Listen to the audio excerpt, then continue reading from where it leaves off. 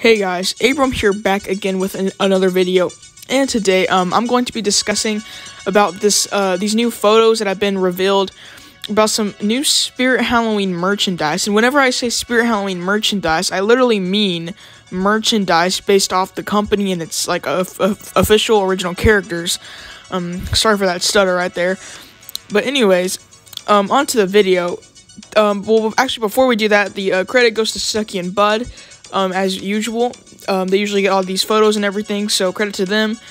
So now on to the actual video. As we can see here, they are doing an Uncle Charlie costume, in which, in my opinion, it looks very accurate to the actual animatronic um, that we got last year. I don't know if it's actually based on the 2010 one or not. I'm assuming it's based off last year since that's the most recent one.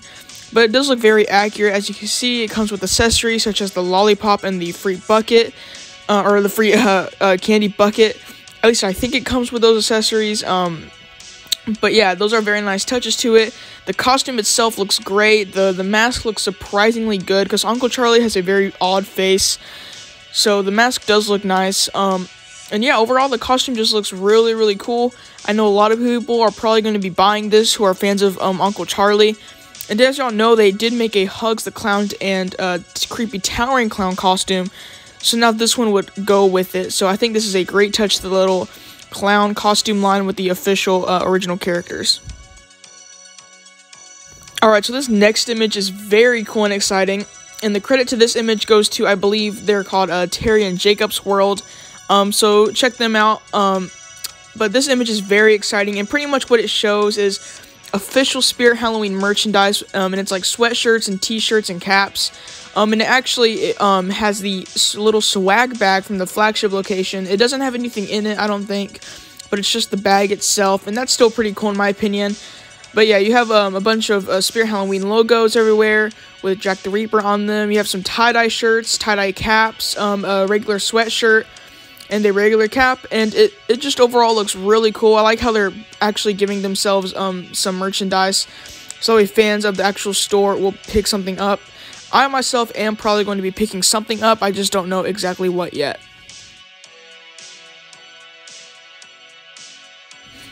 So this one right here, which is the Crouchy doll, is already very well known. A lot of people have already picked it up at the uh, flagship location. Um, and yeah, this is just another doll to really go along the line with um, all the clown dolls and stuff. And overall, I think this one is the best one so far. It To me, it looks the most accurate to the actual prop itself. Um, as y'all can see, Uncle Charlie is there to uh, the left side. I will get to him in a minute. Um, but yeah, overall, I think the Crouchy doll is a nice um, addition to it. In my opinion, like I said, he is the best one. He's the most accurate, most detailed, um, most scary in my opinion. And I think I, I like one thing I really like about him is that hair. It's so crazy and wild on him. It really does fit that crazy look to uh, Crouchy. And even though this one is like the most scariest one, it's not like the most cursed looking as like what I'm about to get into um, with the Uncle Charlie doll. So um, as y'all can see, well, the image about to come up here, the Uncle Charlie doll is, in my opinion, very cursed looking. Um, it looks strange to me. I'm not gonna lie. The head looks too big for the body.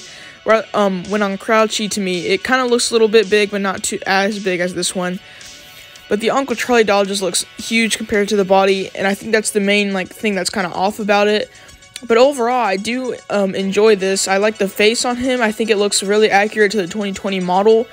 Um, the hat on him is very nice. Um, and like the whole body and everything, just very well detailed, very, very, very accurate to the actual model.